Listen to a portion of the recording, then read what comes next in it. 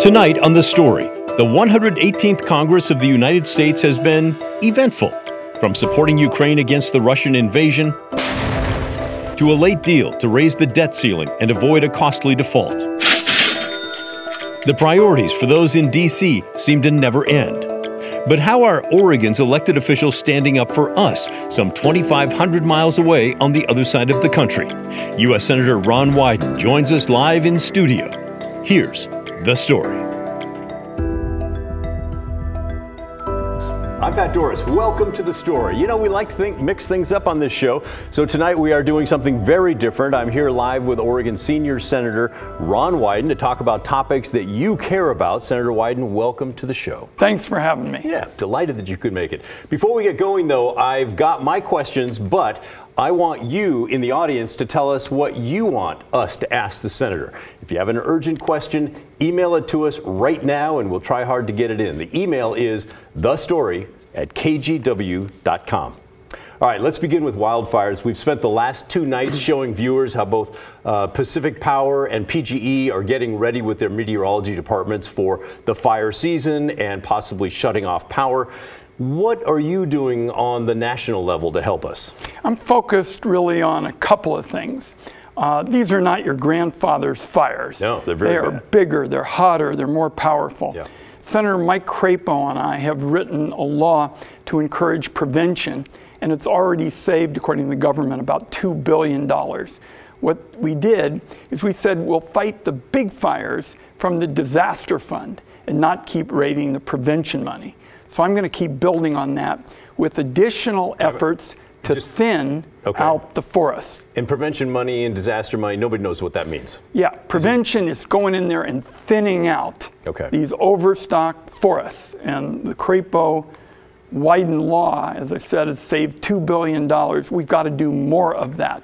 But the second part of what I'm focused on is getting fire uh, salaries up. Those people that are working in the woods, we got a boost for them after the pandemic.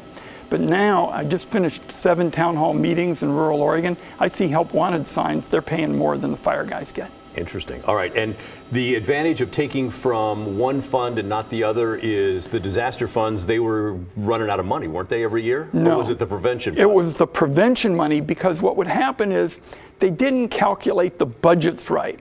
So they didn't really figure out what they need to put fires out. Then they came along and raided the prevention money.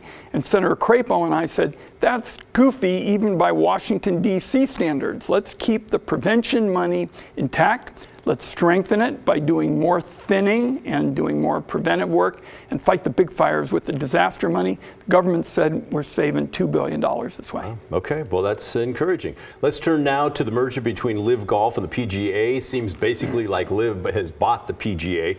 You've said that it poses risks to America's national interest, particularly with respect to foreign investment in U.S. real estate, such as locations neighboring military facilities or sensitive manufacturing places. So, are you saying that the Saudis could use golf courses to spy on military bases? Let, let me make it even more blunt. I think that the Saudis have showed utter contempt for U.S. law. And we know a little bit about this right here at home because we live in southeast Portland, not far from our house. A Saudi national ran over a youngster. And then, right before that Saudi national was going to go to trial, Portland police collected evidence indicating that the Saudis came in and uh, cut the ankle bracelets and the like. Right, that was the Fallon Smart case. That was All the- right, we're going to get to that. But my question is do you think that there's going to be spies using golf courses next to military bases to spy? There's certainly some national security issues there, and I'm on the Intelligence Committee. Right, so What tell I'm- us what you know. Well, what I'm more concerned about is that, you know, the Saudis are going to try to lubricate all these deals with the PGA and in effect uh, we'll be seeing our tax laws i'm the chairman of the senate finance committee used for an advantage for the saudis and not uh, to help us. So there are national security questions there are big time economic uh, questions and the fact is that you know the saudis will pound us at the gas pump every chance that they get and now they're going to use the tax laws to try to lubricate the deals that help them You've also accused them of trying to sports wash by buying essentially the PGA. But that Saudi fund also owns European soccer teams. It owns uh, 5% in Electronic Arts, also in Activision. It owns part of the concert promoter um, Live Nation. It has stakes in the cruise operator Carnival Corp. Uh, also Zoom and Uber. So are all of these companies helping to sports wash? It, it, it depends on a country's you know, history. I mean, this is a country, Saudi Arabia, that in effect killed Jamal Khashoggi, turned a blind eye to Fallon Smart, using the tax laws to lubricate uh, deals that help executives rather than our country. And so each instance has got to be evaluated individually. Okay, and on the Fallon Smart, she was killed in August of 2016. She was a sophomore uh, at Franklin High School. He was a senior at Portland Community College, swerved around some cars that had stopped for her in the crosswalk. And you're right, he was charged with manslaughter, and before he could be prosecuted, his country whisked him out of here. So just last week, the State Department formally passed, I believe, the Fallon Smart uh, program. Pat, this was something that I pushed for yeah. Ever since her death and nothing is going to bring Fallon Smart back. But this at least sends a strong message that our country isn't going to uh, turn a blind eye towards these kinds of things that, in, in my view, that's why I said the Saudis have a track record that shows utter disregard for U.S. law. Okay, but what does this new program do? It denies visas to people that might be connected with that? No, if there is evidence that people have taken reasonable, beyond reasonable steps to help an individual who's charged. They could be uh, sanctioned under this uh, new uh, policy. Okay, and sanctions means maybe their bank accounts frozen or they're not allowed into They're the not US. allowed in. Okay, and yeah. that's a big deal to them. Certainly sends a strong message to a lot of those Saudis with deep pockets if they've been involved in helping this. Yeah, okay. I know you've just returned from Eastern Oregon where you've been doing town hall meetings. One of the big headlines out there is it sounds like they're finally going to get some fast internet. They are, and it's something I'm very proud of. I work with the Secretary of Commerce, Gina Raimondo, talked to her three times at length about the fact that we have been underserved for broadband because of the way the federal government calculates our housing patterns. Our houses, particularly in rural areas, are further apart than the government's calculations. I got the evidence to them. We now got the biggest contribution in Oregon history for broadband. And here's why this is so important. I got more questions during my seven rural town meetings about broadband than anything else because broadband is to rural life what water is to farmers. Without it, they can't survive. Yeah. All right, speaking of water, there's a big problem with the water in Morrow, uh, Morrow and Umatilla counties. People who get their water from the wells there, mainly low income Spanish speakers. For 30 years, they've had a problem with their wells being contaminated.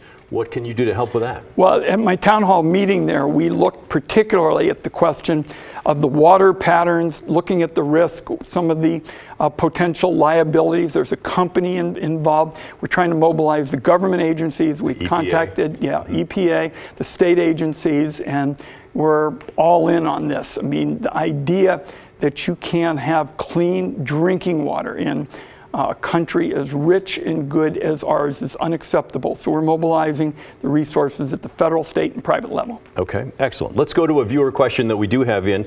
Uh, a viewer wants to know Would Senator Wyden support term limits for members of Congress? And yes, if yes, how does that process start? Well, the founding fathers already debated term limits, and they decided that term limits were an election.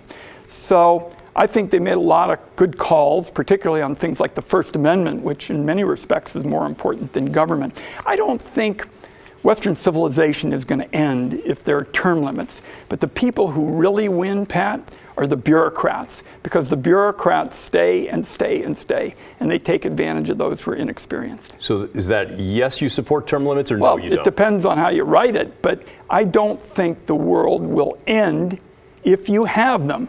But I want Oregonians to know that I think the big winners in a lot of these term limit proposals that have been offered so far are the bureaucracy. Sure. The bureaucracy will be ecstatic because they'll be able to take advantage of people who don't have expertise. Okay, excellent. Thank you. One other question from a viewer uh, from Sam. What can Congress do to ensure higher education is more affordable for Og- Oregonians in the first place? The prices just keep Fir- going. fir- First thing we ought to do is lower the interest rates, and that's something that I'm talking about in terms of the loans. But I also think we ought to introduce some competitive forces in the way education is financed. And I've had a bipartisan proposal called Know Before You Go. Education is the biggest expenditure we make with absolutely no competitive forces, and I think people could get more value for their education dollar with the kind of proposal I just made. Hmm, sounds good.